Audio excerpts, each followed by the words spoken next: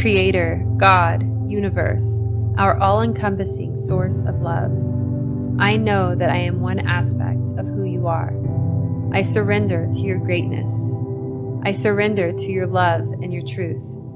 I see that I tend to grasp for control in my life, and I understand how doing this brings me into a state of feeling lost and forlorn. I've clung to my comfort zone, certain people, places, and patterns in order to maintain the illusion of certainty and control. I see that nothing in life is certain, and that the only constant that will ever be is change.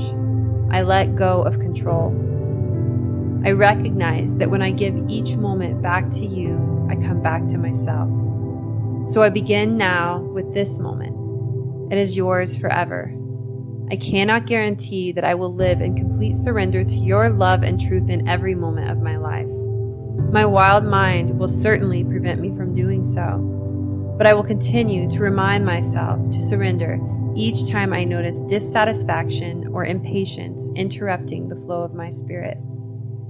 I continue to surrender with each passing day and allow myself to live more joyously and mindfully, realizing that the habits I had clung to in the past were never greater than experiencing your simple presence.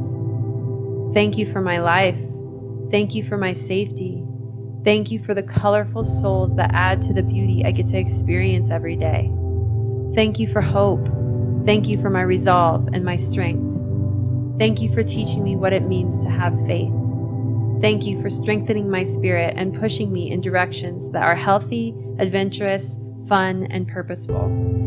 Thank you for nudging me in the right direction when I need it and for teaching me to heed gut feelings. Thank you for expanding my capacity for love and reminding me that pain and sorrow can be a beautiful and deeply healing part of life. I continuously surrender my life to peace, acceptance, love, and understanding. Amen.